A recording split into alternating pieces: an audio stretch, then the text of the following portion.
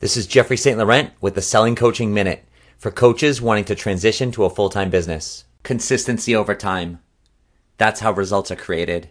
If there's any piece of advice I could give you, it's consistency over time. That takes patience, it takes discipline, it takes weathering the storm, weathering the downs and the ups so that you can remain consistent.